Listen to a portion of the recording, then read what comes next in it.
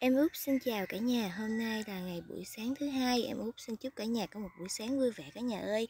Em Út lại tiếp tục giao lưu góp vui cùng anh chị em mình một cặp linh xanh si bông ưu điểm à, củ đế nở nha cả nhà.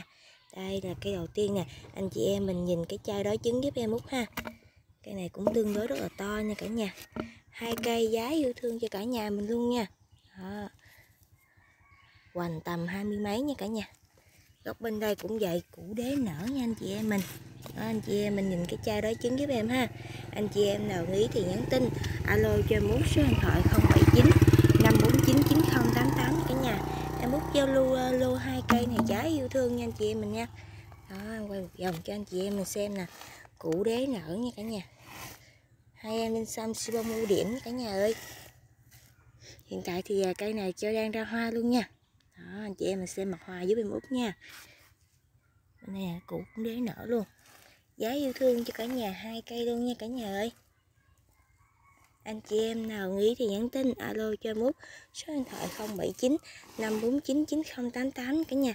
Giá yêu thương cho anh chị em mình lô hai cây như vậy luôn nha.